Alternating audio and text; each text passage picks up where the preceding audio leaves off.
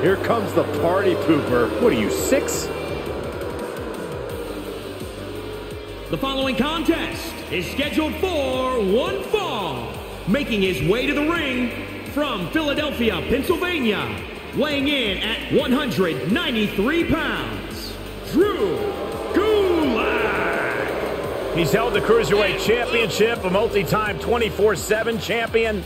Gulak craves the 24-7 title because he's always ready to fight at any time. A true Broad Street bully.